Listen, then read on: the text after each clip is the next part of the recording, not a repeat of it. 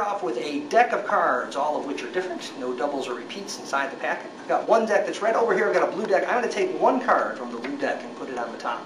Joe, what I'd like you to do is, as I go through the cards, just touch the back of any card you'd like. It does not matter to me what it is. This one right here could have been any card. The strange thing is, Joe just touched one card from that deck, a random choice, and it's a complete match for the card I just took from the blue deck. Now, some people see that and they think maybe I got lucky, so let's try it again.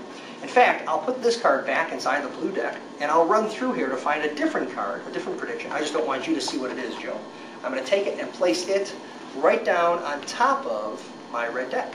This time I'll place the cards face up in my hand, and this time you can name any card you see. It doesn't matter to me, whatever one you'd like.